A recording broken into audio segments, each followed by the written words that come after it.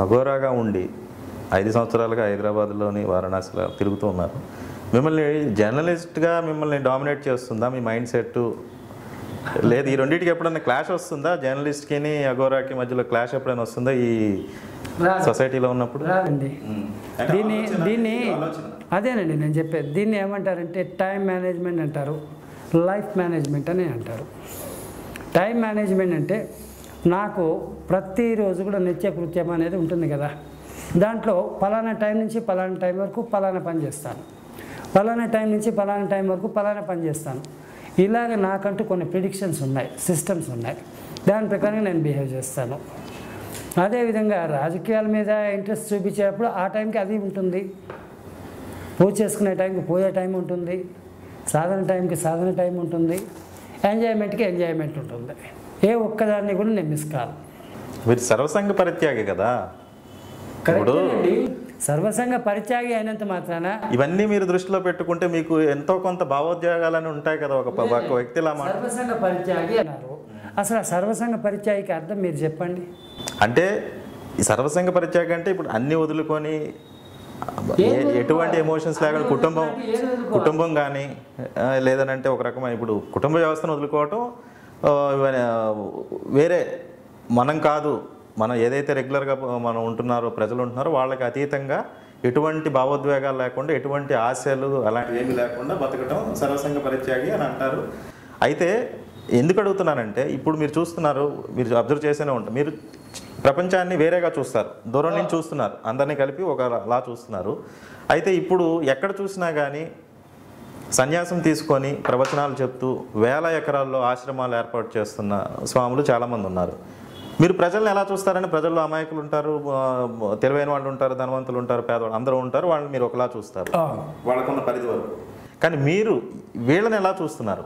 చెప్తానండి చెప్తాను. అందుకని నేను సర్వసంగ పరిత్యాగ కదా మీరు? సర్వసంగ మీకు వాళ్ళకి ఏంటి తేడా అని అంటారు. సర్వసంగ పరిత్యాగి అనే దానికి అర్థం చెప్తాను ఫస్ట్ ఆఫ్ ఆల్ కొంతమంది అనుకుంటారు పెళ్ళాం పిల్లల్ని వదిలేస్తే సన్యాసము అని. ఇంకొంతమంది అనుకుంటారు ఆస్తిపాస్తులను వదిలేస్తే సన్యాసము అని.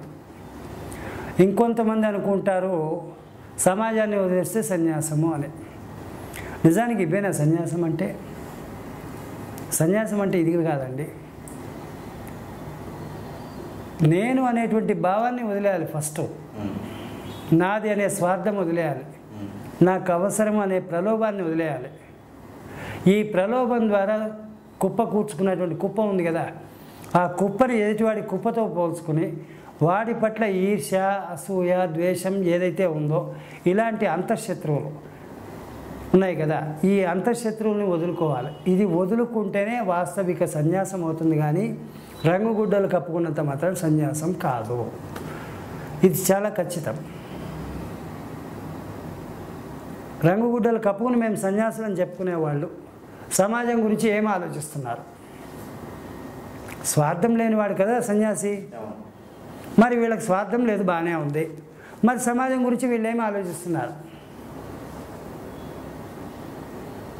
ఎలా ఉండాలి అంటే అందరితో కలిసి ఉండాలి కానీ ఎవరితో కలిసి ఉండకూడదు. దీని అర్థం ఏంటంటే తామరాకు ఉంది దాని మీద నీటి బొట్టు ఉంది. అది ఎక్కడన్నా అతుక్కుంటుందా. కానీ నీరు అన్నది తామరాకుతోటి కలిసి ప్రయాణిస్తుందా లేదా? అదే విధమైన స్థితిలో ఒక సన్యాసి అనేవాడు జీవించాలే కానీ నేను దూరంగా ఉంటాను ఈ సమాజంతో నాకు పని లేదన్నంత మాత్రం వాడు సన్యాసి కాలేడు. పోనీ అలా ఉన్నవాళ్ళు డబ్బుల కోసం పాకులాడకుండా ఉన్నారా?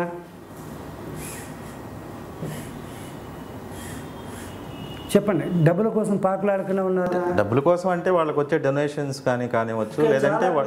వాళ్ళ ఇన్ఫ్రాస్ట్రక్చర్ డెవలప్ చేసుకొని గుడి దగ్గర అయినా సరే వెంకటేశ్వరుడి గుడి దగ్గర అయినా సరే స్వాముల ఆశ్రమాల్లో అయినా సరే జరుగుతుంది ఖచ్చితమైన వ్యాపారం మాత్రమే ఈ వ్యాపారం అంటే ఎలాంటిదంటే స్పెషల్ దర్శనం ఇంత. సూపర్ స్పెషల్ దర్శనం ఇంత లడ్డు ఇంత గారెంత వాడ ఇంత అక్కడ జరుగుతుంది వ్యాపారం కదా? వ్యాపారమే. రమణ దీక్షితులు ఈ మధ్యకాలంలో చెప్పారు చాలా క్లియర్గా చెప్పారు. మీరు భగవద్ దర్శనానికి రండి భగవంతుడిని దర్శించుకోండి కానీ హుండీలో పది పైసలు వేయకండి. రోజు కూడా కొన్ని కోట్ల రూపాయలు పడుతున్నాయి. పాప ప్రక్షాళన చేసుకోవాలంటే కోటి రూపాయలు. ప్రక్షాళన అనేటువంటి పెద్ద మాటలు మాట్లాడకండి. ఇక్కడ పూర్తిగా వినండి. కొన్ని కోట్ల రూపాయలు వస్తుంది ఆలయానికి ఇన్ని కోట్ల రూపాయల్లో భగవంతుడికి ఖర్చు పెడుతున్నటువంటి ధూప దీప నైవేద్యాలకు ఎంత? అందులో పనిచేస్తున్నటువంటి పురోహితులు అర్చకులు ఎవరైతే ఉన్నారో వాళ్ళకి ఇచ్చేటువంటి జీతం ఎంత? అక్కడ పనిచేస్తున్నటువంటి కస ఊడ్చేటువంటి వాడికి ఇచ్చేటువంటి జీతం ఎంత? అక్కడ ఉండే పూల తోటల్లో పూల తోటల్ని చూసేటువంటి తోటమాలులకు ఇచ్చేటువంటి జీతం ఎంత? ఇవన్నీ లెక్కలు చూస్తే తిరుపతి తిరుమల దేవస్థానం తాలూకు అకౌంట్లలో అంతా అవకతవకలే ఆ డబ్బంతా ఎక్కడికి పోతుందండి? ప్రభుత్వానికి చేరట్లే? స్టేట్ గవర్నమెంట్కి. ఇవాళ రోజు టీడీపీ ఉంది కాబట్టి టీడీపీని బ్లేమ్ చేస్తున్నామని అనుకోవచ్చు. రేపు వైఎస్ఆర్సీపీ వస్తే వైఎస్ఆర్సీపీకి పోదా? అంటే భగవంతుడి డబ్బును దోచుకోవడానికి ఈ రాజకీయ నాయకులు ఉన్నారు ఈ ప్రభుత్వాలు ఉన్నాయి. ఇలాంటి స్థితిలో వాళ్ళు చేసే అన్యాయం కాదా? అన్యాయమే. అదేవిధంగా ఇప్పుడు ఈ స్వామీజీలు అంటే పాద పూజ అయితే ఇంత ఆశీర్వాదం అయితే ఇంత ప్రత్యేక సేవ అయితే ఇంత ఏకాంత సేవ అయితే ఇంత ఇలాగ రేట్లు పెట్టి చేస్తున్నారు. పోనీ తప్పులేదు మనిషి బతకాలంటే అంత ఇంత డబ్బు కావాలండి. డబ్బు లేకుండా మనిషి జీవితం నడవదు. కానీ అలా సంపాదించేటువంటి డబ్బుని ప్రజలకు ఎంత ఖర్చు పెడుతున్నారు? వీళ్ళు చేస్తున్నటువంటి గొప్ప నిర్వాహకాలు ఏమిటి? చెప్పమనండి. ఓకే ఇకపోతే నా గురించి వస్తారు. ఇందాక అన్నారు కదా వాళ్ళకి మీకు ఉండే తేడా ఏంటి అని. నేను ఎప్పుడు జీరో బ్యాలెన్స్తోనే జీవిస్తాను. ఎప్పుడు జీరో బ్యాలెన్స్తోనే జీవిస్తాను. నా జీవిత కాలంలో ఆశ్రమాలు పెట్టను. ఇలాంటి వ్యాపారాలు చేయను. నాకు ఉండేది ఒకటే ఒకటి. భక్తితోటి నేను వ్యాపారం చేయను. విద్యను విక్రయించాను. ఇది నా తలుపు తత్వం. ఇది నాకు వీళ్ళకి ఉండేటువంటి తేడా. విద్యను విక్రయించను అని చెప్తున్నారు బాగానే ఉంది. ఇప్పుడు మీకున్న జ్ఞానాన్ని కానీ విద్యని కానీ పది మందికి పంచిపెట్టాలి అని అంటే మీకు ఒక డయాస్ కావాలి ఒక స్టేజ్ కావాలి. ప్రతిదానికి ఒక ఏం అక్కర్లేదండి. నాకు నేను సొంతంగా నేను అన్నీ తయారు చేసుకుంటున్నాను. విత్ ఇన్ షార్ట్లీ నా ఏర్పాట్ల ప్రకారంగా నేను నాకంటూ ఒక వేదికను ఏర్పాటు చేసుకుంటున్నాను. ఆ వేదిక ద్వారా ఈ సమాజానికి నేను ఏం చెప్పాలో చెప్తాను వీళ్ళలో ఎటువంటి చైతన్యం తీసుకురావాలో తీసుకొస్తాను. చూసారు కదండి మా వీడియోస్ మీకు నచ్చినట్లయితే లైక్ కుదిరితే కమెంట్.